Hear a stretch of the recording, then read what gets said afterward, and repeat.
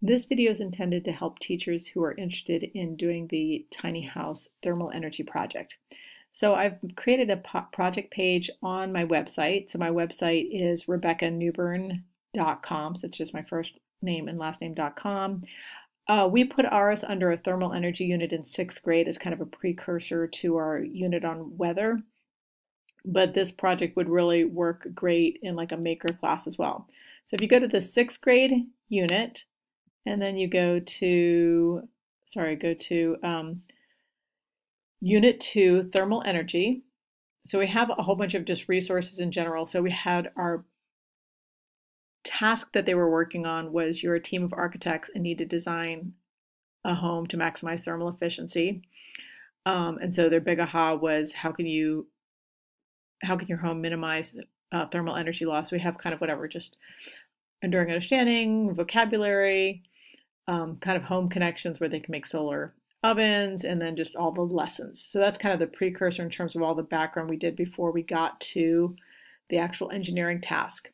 Um, because there were a lot of resources with the engineering task, I created it as its own unit page, or not its own unit page, its own project page. So if you once again, if you go back to sixth grade, sixth grade units, and you go to thermal energy, then out comes a pop out, which is unit two, tiny house project. So once again, here is the engineering task. Um, your team of architects, um, vocabulary, a lot of this is built into the readings that we have. We have leveled readings um, that we've created or whatever we've taken readings that we found and then kind of adapted for an on level, accommodated and modified. So we're still working the process of doing that, but all of our readings we're transitioning over to having three um, levels to increase access for our students. So kind of the final product is they're going to be creating this house and it's a tiny house. So it's a, it's a model of a, what would be a tiny house. So it's a tiny, tiny house. Um, and we actually um, purchased a FLIR One thermal energy device, which actually authentically gives, sorry, a reading of the um, the heat when we put it under on a lamp um, as opposed to just kind of a cool, you know, gadget that makes it, you know, look like it's actually doing a reading, but it is indeed actually doing a reading. Um, so this was a first, obviously pretty big expense. This project definitely has some costs associated with it, but as we've done it, this is my second year doing the project. We like next year, our costs are going to be like psh, nothing, not nothing, but significantly lower. And I'll explain what I did to get there.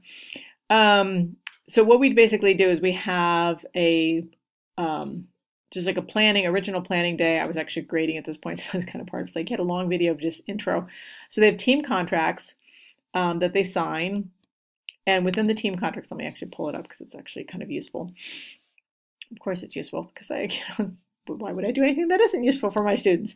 Um, basically, they have to kind of, um, they have a principal architect, a foreman, a project manager, and a master carpenter. So that kind of helps um, with the decision making process and kind of distributing workloads. Um, and then also, I have a thing with work ethic where they should all, if they do an equal amount of work, would get the team grade. And if they don't, they can kind of adjust points up or down um, at the end. So that's a, a little thing that I do.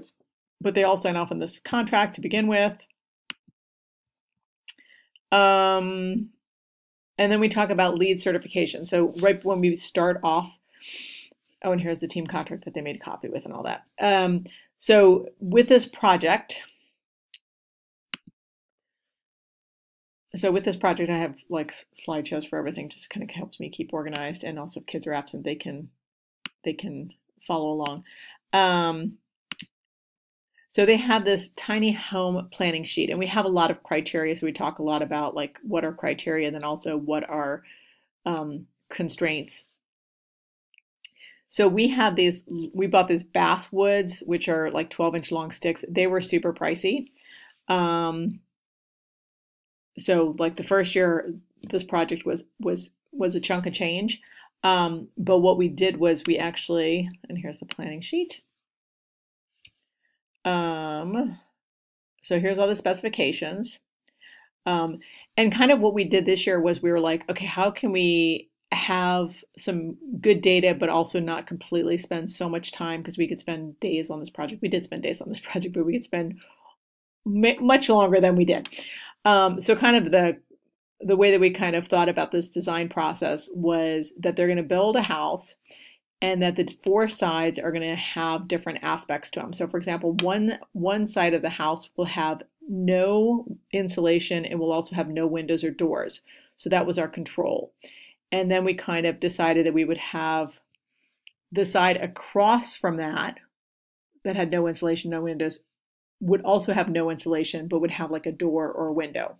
And then the two opposite sides, so like east and west, uninsulated, one has a window or door, the other one has nothing and is the control.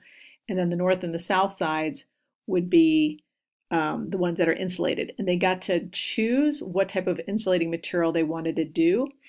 Um, so let me kind of go through that. So once again, they had some choices. One was to actually have the same insulating material and really evaluate how does a single layer of material versus a double layer of the same material, how does that impact its ability to insulate?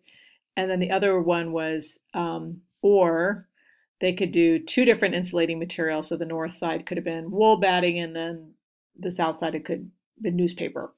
Um, so they had choices in terms of insulating.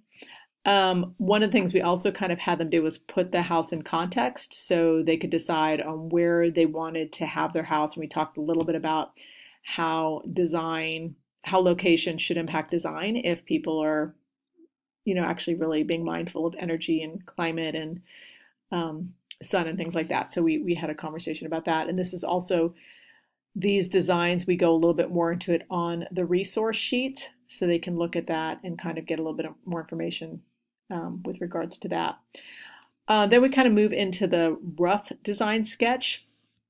So they all kind of do just a really rough sketch and decide, oh, these this is the one that's going to be the control, and this is also going to be the uninsulated side, or you know, or these two, whatever.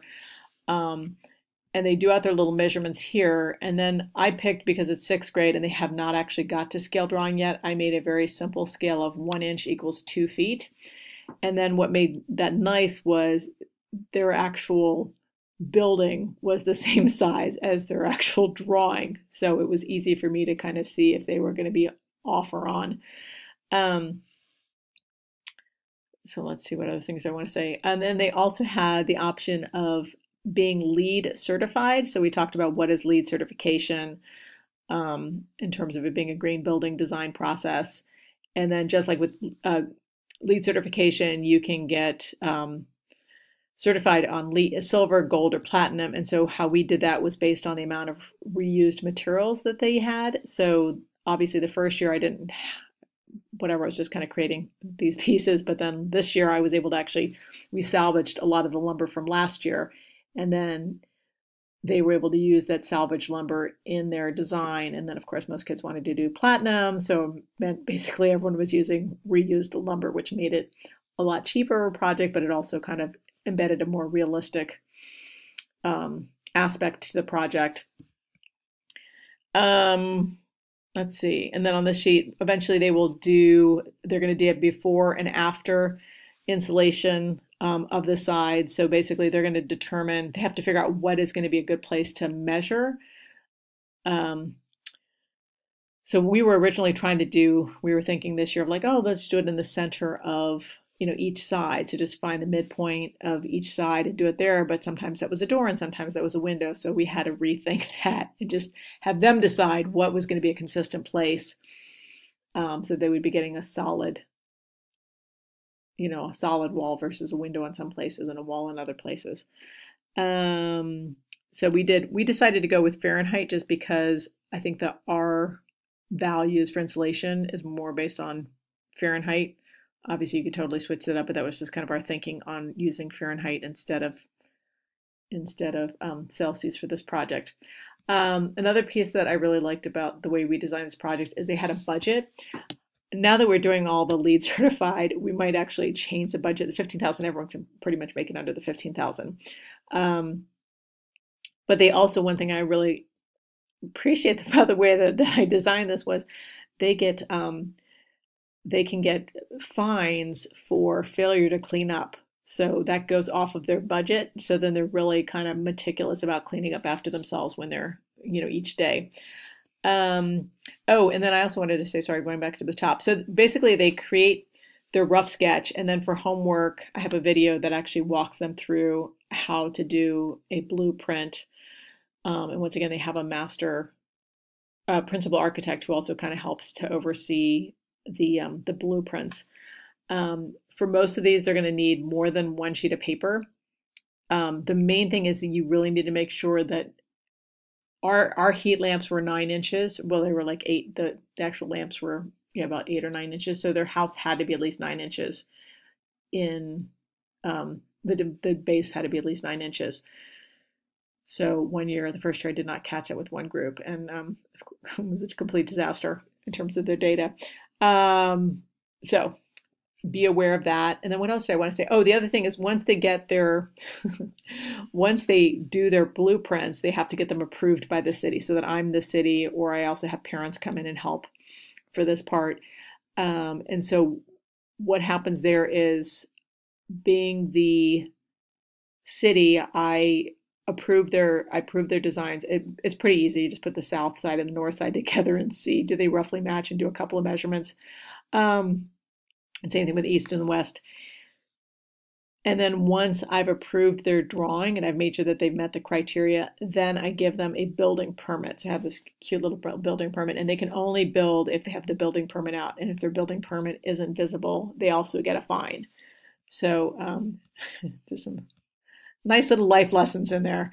Uh, let's see other things. It just talks a little bit more the design awards, talk about the testing method. Uh, we ended up using really large heat, the, the nine inch heat lamps, but we also had the really big bulbs. And that was, we are not going to do that again. One, because one house was really short.